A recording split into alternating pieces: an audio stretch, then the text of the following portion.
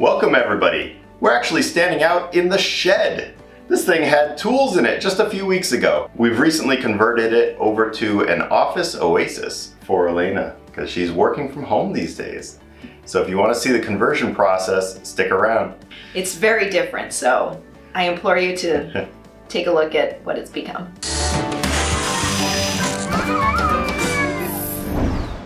Elena, what do we have out here? So this is my work from home office while I work from home. We're also a place where I can maybe do some reading and just some quiet time. My daughter likes coming in here too, so it's just kind of a little getting out of the house. What did this look like when we first started? Uh, it was all just OSB and tools. I mean, this this had everything in it. Just yeah, it was dark. There were no windows, so it was it was a shed, Yep. plain and simple. Now this is an insulated shed and this is dense pack cellulose insulation. I just took off this sheet of plywood and you can see the cellulose hasn't settled. It's still right up at the very top. Still looks good. It's still hard. This is what a proper dense pack should be. Now a little background. This building was insulated to start with, and that was because I built this as a joint venture with an insulation company. We were testing their product and we had sensors in here and how much energy it was using and it, it was a fun project. We had done blower doors uh, on the shed, but it was a test hut for the insulation. Uh, once that project was done after the first year of monitoring, we took out the sensors. Ever since then, it's just been a tool shed. Until now. what was the first thing we had to do? Uh, well, we had to take everything out. Mm-hmm. So shout out to my dad for helping to do that. Um, there was a lot of stuff in here. Um, move stuff away from the shed because we put in two new windows. Yep. So we had to cut holes in the beautiful insulation. I know, I had to remove it. I'm cutting out this portion of the wall for a window and here's the cellulose with no netting. I'm taking this netting down. This is called Insulweb and it's just there to hold the cellulose in place. Now you can see it's, it's still there. It's not glued or anything. The cellulose completely conforms to your stud bay. That's a proper dense pack.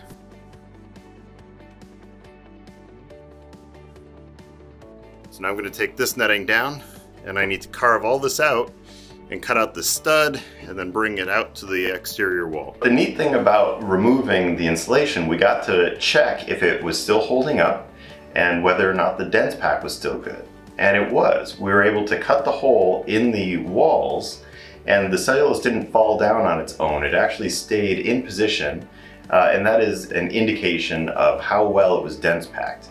Now, in addition to that, we had done several testing and verification during the process of insulating it, so we knew that, but it was just fun to go back uh, several years later. I think this shed has been here about six years, and just double checked that everything was great and there was no rotting anywhere, uh, no mold. It just, it looked really good when we took that insulation out and were able to inspect the framing and the sheathing. Light is fading, but I got the opening cut. So this is rough cut. Now what I need to do, see where I cut the stud right off, I need to add blocking in here. So I'm gonna jam a 2x4 in here and screw it to the sheathing and then toenail it to this stud. I have to add blocking up on the back side of this piece all the way up to the ceiling and then block the top across. I finished framing out this window. So you can see the new cripple studs and header I added over here. So quite a bit of new lumber. This uh, older discolored lumber was actually from the old garage that I took down. Uh, it's kind of neat that I still had a couple pieces kicking around. I saved that lumber and have been using it over the years for different projects. So you see some of it's just little blocks. I didn't go all the way down with it because this interior wall is non-structural. This stud was existing. Then I added a little block here. So more than enough framing for what I need in this little shed. There's one part of this that didn't line up and that is this stud right here is actually bowing or coming in at least down here. So when I go and I add the plywood piece, that's gonna be from this point in, I'm gonna have to shim this side of it. It'll nail flat here, and then I'll have to shim this and bring it out. So that shouldn't be too big of a deal. The other ones, I think I got lined up really well with the outside. See that? So I won't have to shim them. I went through and cleaned up some of these edges with the Sawzall so that it will sit flatter. Uh, you don't want to bump in the sheathing. So I'm installing that window out there in the shed. So I came over here to look at the different uh, flashing tapes that I have. So this is a uh, flex flexible one from Tyvek. And this is two years old. And then I reached back and I found this one.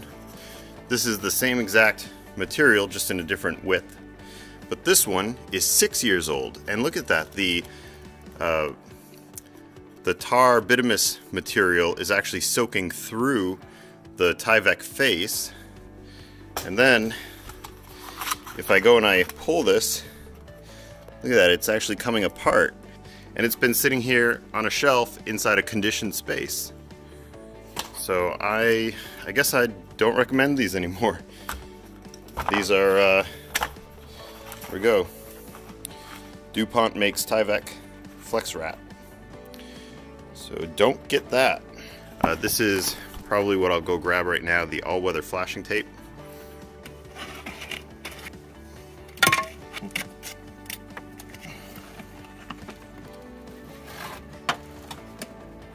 This is 3M all-weather flashing tape. 3M always seems to use a paper backing instead of uh, like plastic.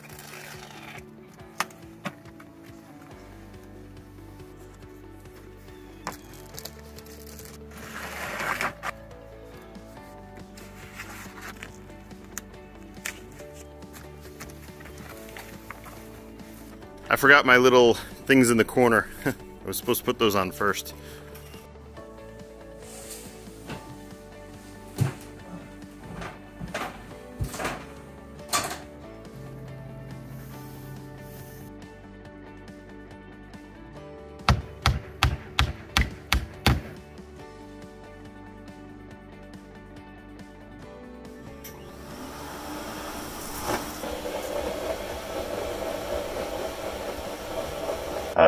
After we installed the windows, then what did we do?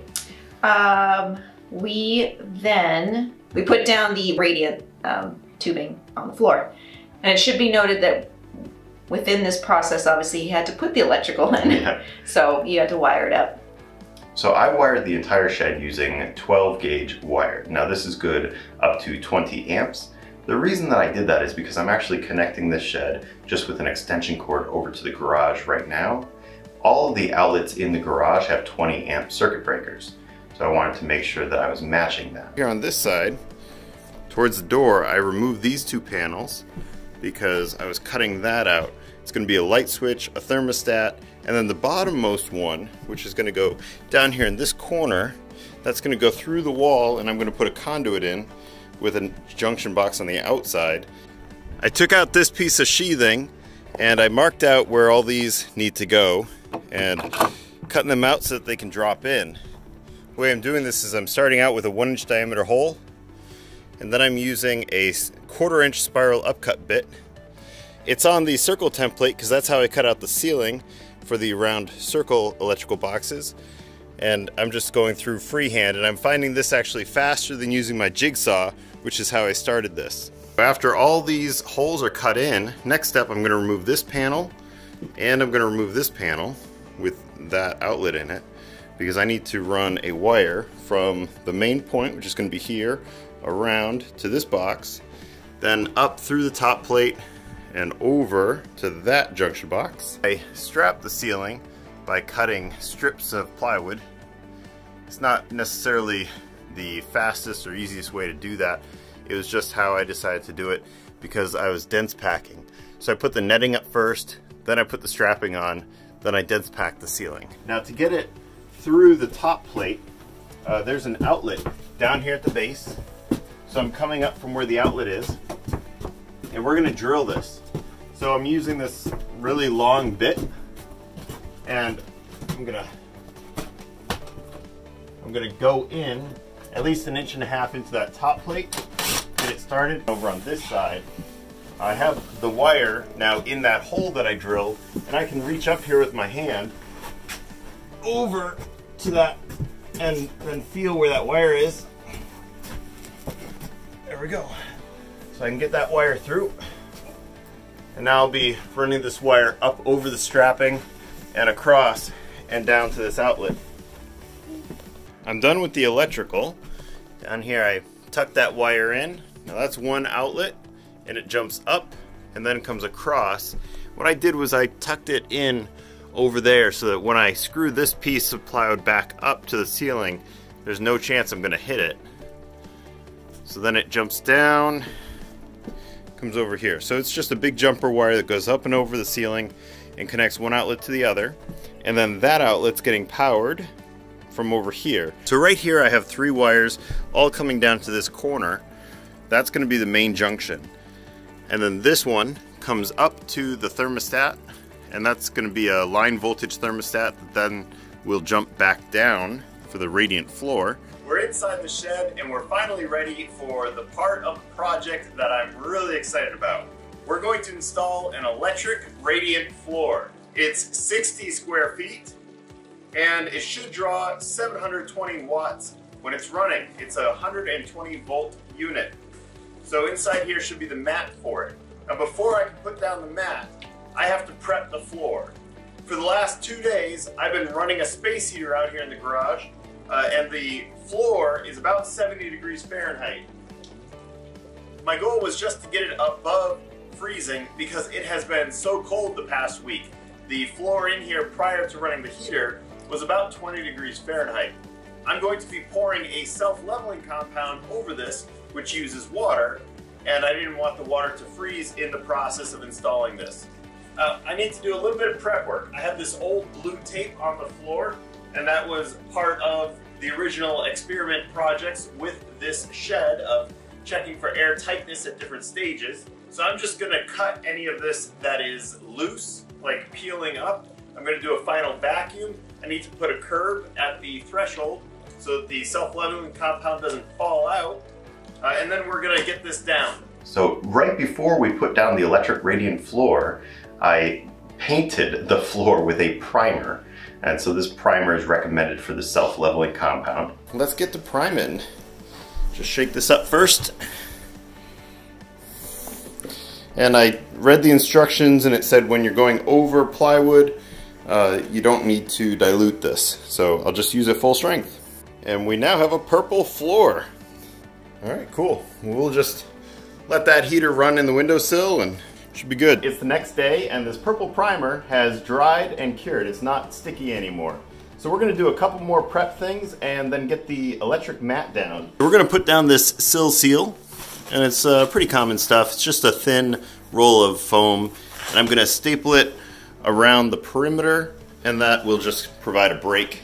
So hopefully that helps uh, a little bit with maybe splash and keeping the stuff from binding to the walls because in case I want to take down a wall panel, I don't want the floor uh, kind of glued to it. The, the flooring is an electric radiant floor kit that I purchased from Amazon. There will be a link in the description below to the kit that I used, but you select the size that you want based on the square footage. Uh, so it is held away from the walls about six inches all the way around the perimeter. Uh, the outside of this building is 10 by 12. The inside of the building is 8 by 10. Uh, so uh, we have one foot thick walls uh, and the ceiling is fully insulated and the floor is fully insulated. It's dense packed cellulose all the way around 360. Then we installed the electric radiant floor, which the kit came with instructions and it was really easy. So Elena gets to set it to whatever temperature she wants. It's a little warm for me. now when I read the instructions for this, it said that this style with the wire on the mat is good for like a rectangle, a basic shape, which is what we have here. They also make it without the uh, mat where you, you hook it on each side, and those are good for oddly shaped buildings or rooms. The kit that I bought came with a few different things. We have the electric mat right here. We have a temperature sensor that I think this one goes in the floor. We have a thermostat, which is also going to read the air temperature of the room. And it also comes with a little monitor. So if the wire gets accidentally broken during installation, this alarm should go off. There's that little alarm. And I have all this right here close to this box because that's where the wire is gonna go up. It's gonna go up through here to the thermostat, which I've got. So I'm at the end of the run and I just cut it and flipped it. Right here, you can see that red wire is not broken, but I cut the mesh right there and I'm flipping it over. So it's serpentine patterns here and it did curve up, but now it's gonna go straight and come down this row. So I put down a ton of staples, at least a dozen sticks of staples that I put down because staples are cheap and I don't want this floating. Uh, I marked out a little pink line. Now that's not a level line, that's just showing me the thickness. So that's a half inch thickness line. So I wanna make sure that it's at least half an inch thick everywhere. And then we put down self-leveling to try to, because who knows what may have settled throughout the years. So we tried to level this out. And then we put up the paneling because... Oh, hang on, let me share some more details before we get to that part. Okay. Then the self-leveling compound. And we had a little bit of a hiccup there. Uh, my own fault. Uh, what, what happened with the self-leveling compound? Seven buckets, all with five quarts of water. Seven bags opened, ready to go. I have a spare battery for the drill if that one dies. I think I've done all the prep work possible because as soon as we add this to the buckets, the timer is going. so we got a little ahead of ourselves when mixing it and we did not move fast enough and a lot of things didn't mix together well enough. So the first bucket was perfect. By the time we got to about the fourth, what we used to mix it was just not doing it. So we ended up having to kind of toss that and buy a new compound. So, but once we figured out what was wrong, we th they were like smooth as yogurt. Well, this was a failure. Uh, the buckets, I couldn't mix them. So I was trying to use uh, this drill and I was just burning through the batteries super fast and I wasn't getting a good mix. So Part of the problem I think was that I dumped them all in before we had the first one completely mixed. Yeah, it was about a $240 mistake for me. A learning curve that hopefully you don't make. now using the right tool for the job, it's mixing this way better. So we rented a paddle mixer that's typically sold for like joint compound for drywall. And that allowed uh, enough torque and speed to mix all of them. Now, I just thought that my uh, drill would have been fine. Uh, it's a DeWalt drill and it's served me well in the past, but it didn't have enough power to keep up with all this. The motor was getting hot and the batteries were burning through pretty quick, so. so now that this one's mixed up a little bit, now I'll add to the second one. Went and rented that, and it's not expensive to rent that tool, uh, and it's not expensive to buy either if you're gonna do more than one of these. And so we mixed all the buckets before we poured the first one. And then uh, Elena helped uh, bring them to the door and I was inside here and pouring out the self-leveling compound. they were heavy. I was like, please don't break, please don't break. uh, then I used a landscaping rake uh, simply because it was something that I had on hand uh, to help spread it out a little bit because it, even though it is self-leveling, it still needs a little bit of encouragement. go to that corner and level yourself out. I've covered all the area. According to the formula on the bags, this should be enough. so hopefully that levels and is okay.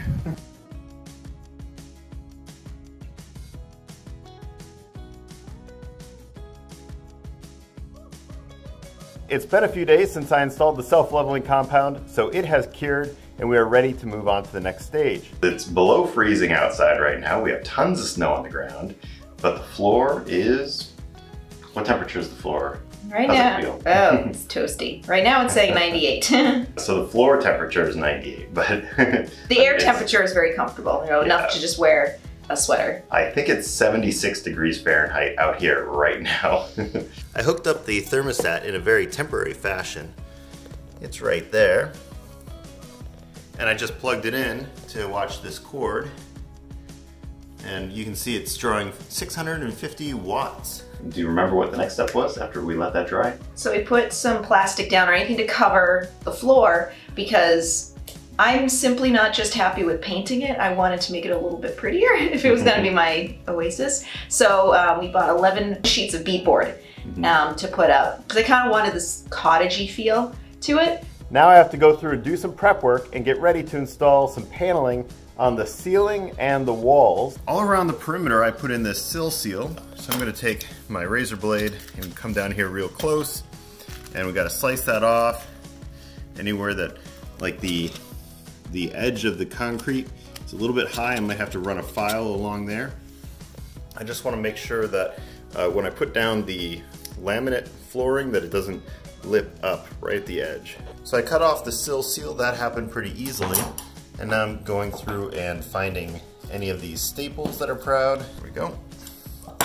And then I'm also running this along and any high points of this uh, cement material, I'm taking that down. Next I gotta take the wires and I'm gonna be tucking the wires up into the hole so when I put the paneling up, they're not in the way. The perimeter is all cleaned up and now I've unrolled and cut this piece of plastic.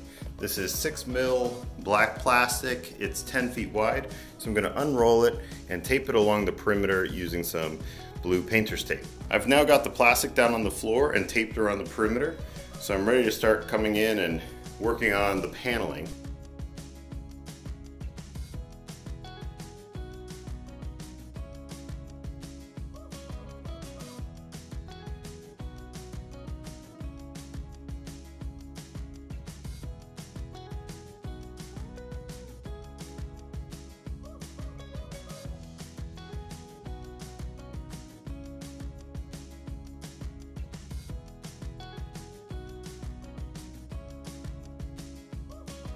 I'm making all of my cuts on this piece of scrap two inch foam board. Uh, it's an insulation board, but it works really well as a backing for this kind of flimsy material uh, to make a good clean cut. Insulation makes everything better. Before he put that up, he did cut for the lights. so there is electricity in here, obviously. And he put in six lights, which is a bright. well, we have the two on the back up, and we have the uh, ceiling on and light fixtures cut out. And things are not perfectly square in, in the building. So we are getting a couple of spots like this, but no worries, I'll be able to fix that. Trim hides everything. All of the paneling is in place. Uh, I had some screws in here because it was gluing to the corner that I put in. I had to cut a piece back there. And I've gone through and I've checked for any high nails and set them. And now it's time to caulk. I'm just using some DAP. And I'm putting a small bead down in there. And I'm very, very lightly putting some on there. Next, I'm just taking this kind of silicone caulk tool. This goes right in the corner and then I can drag it along. I finished painting inside and I think it came out pretty good. Now I just finished this wall. That wall I did last night, so if I need to touch anything up, I can. The lights are all LED and they are fixtures that can be installed in either a recessed can or in this case I installed 4 inch round junction boxes in the ceiling and this is for old work. So I was fishing the wires through the insulation. Uh, I was mounting the recessed box up there and then it has a little wing that pops up, pops out to the side when you screw it in, and that holds the box in place. So that's all done just after the fact.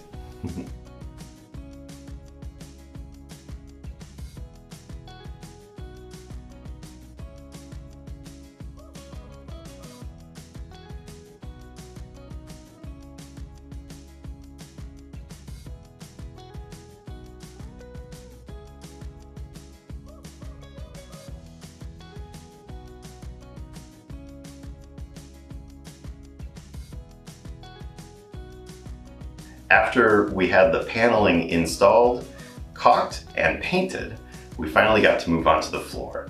And when I pulled up the black plastic that I had laid down on the floor as a protection, uh, I noticed a little bit of dampness in the self-leveling compound. So we let it dry out a little bit longer, then we finally got to move on to the floor. Now for the really exciting part. We're ready to install the laminate flooring.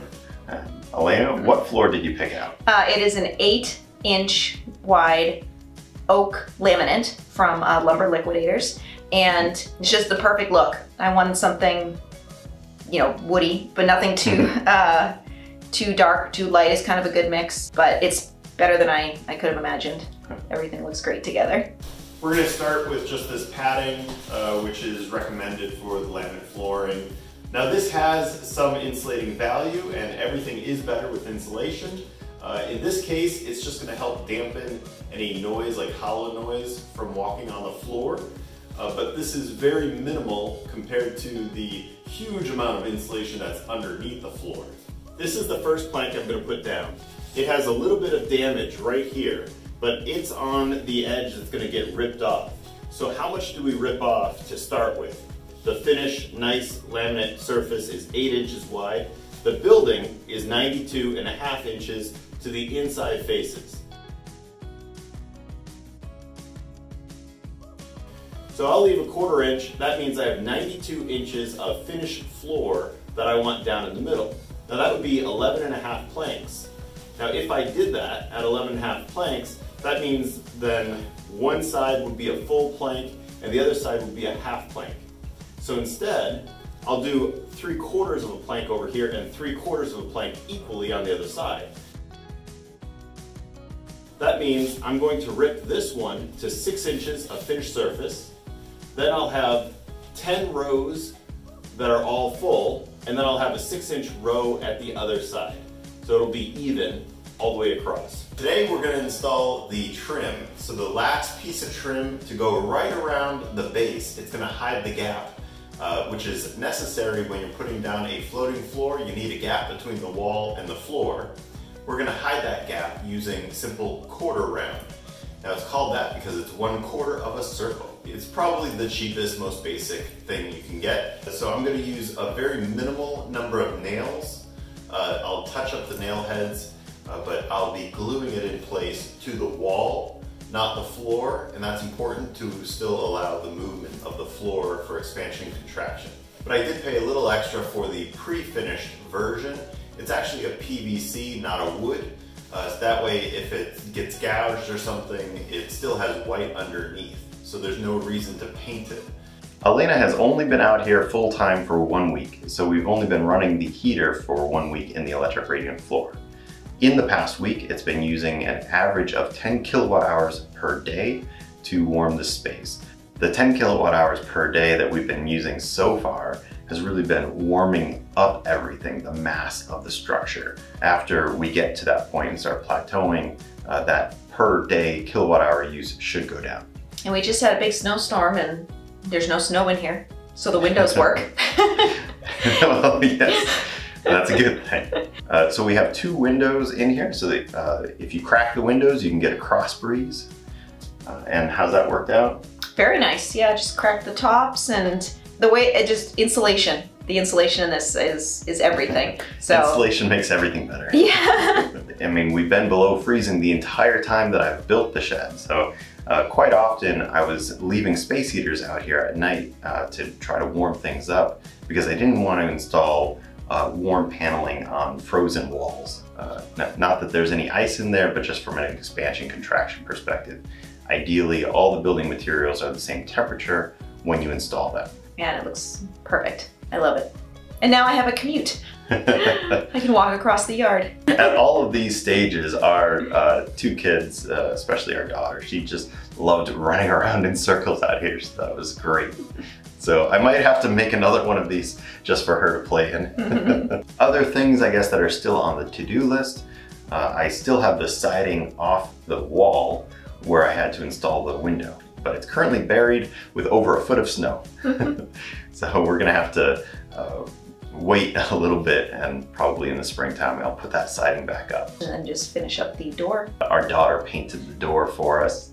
Uh, so, And obviously she can only go so high. so we'll have to do some kind of paneling or paint job or trim work on the door and cover up the tape that's currently on it.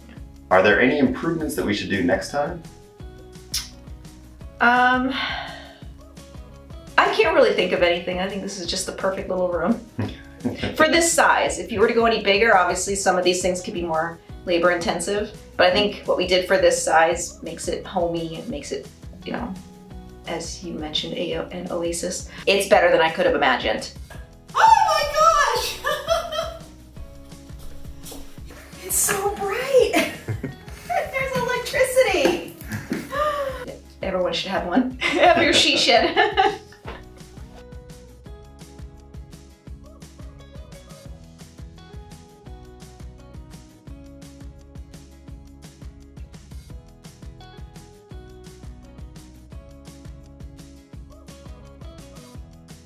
Thank you everybody so much for watching. If you enjoy the videos, please like, subscribe, comment, share. Check out some of the links in the description below. Uh, buying anything through one of those affiliate links helps the channel out. Thank you. Thank you. But if you can see it, okay, you can't. To mimic um, kind of an oak, it, it's, you know, oak mimic. Mhm. It's oak laminate, about seven inches, Uh, the floor is eight inches. eight inches from uh, liquid lumber liquid. This isn't it.